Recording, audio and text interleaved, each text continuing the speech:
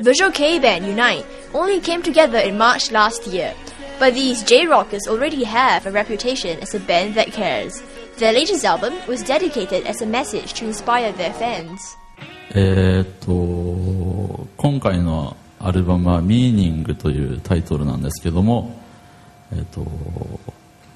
自分が、えっとリードトラックの「ミーニング」という曲曲を書いたんですけど、えー自分がファンの皆さんからいただいた悩みだったりとかその毎日生きるのが辛いですとかもういなくなっちゃいたいですみたいなそういうネガティブなメッセージをたくさんもらう中で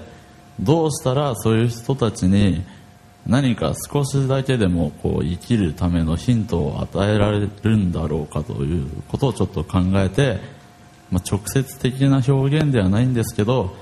こういう考え方もどうですかっていう。まだまだちょっと頑張ってみてもいいんじゃないんですかっていう意味を込めて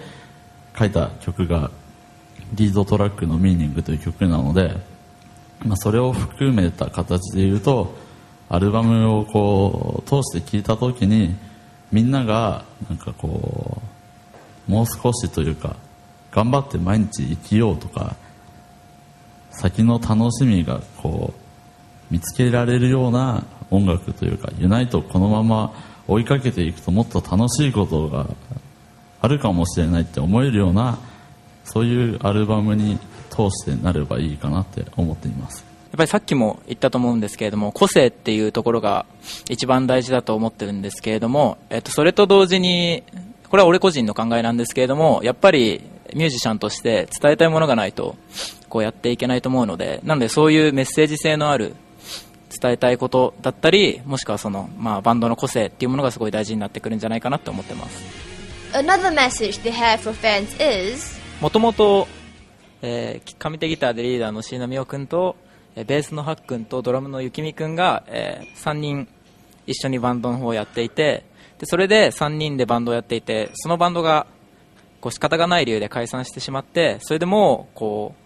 終わらないずっと続けていきたいバンドっていうものを組みたいっていうところになってでそれでもともとギターのみお君と友達だったりん君がまず入ってで俺が後から一緒にやりたいっていうことを声をかけてで一緒にやることになります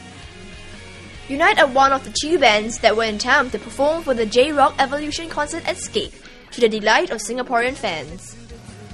えっ、と僕たちのバンド名の由来にもなるんですけど、えっと自分たちの音楽でメンバーとそのファンである皆さんとのこうつながりができるようにっていう意味を込めて結びつくっていうユナイトっていうバンド名にしたのでこう自分たちが知らない間にっていうのもちょっと変なんですけど、バンド活動をしていく間にこう海の向こうでもあのまだ出会ったことない人と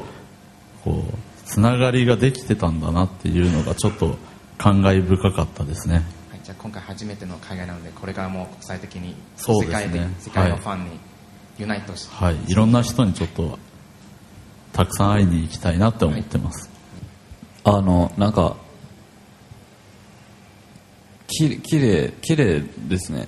ななんて言うんだろう。リゾリゾート地みたいというかリゾート地なんですか？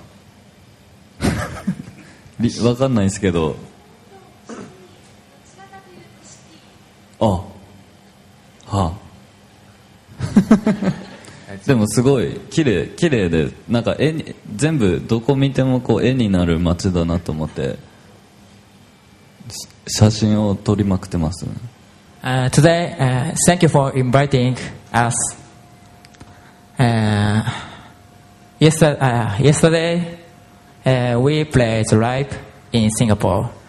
Uh, I wish many people want many people want to be happy. Find out Unite's special technique when it comes to chasing goals in our other clip.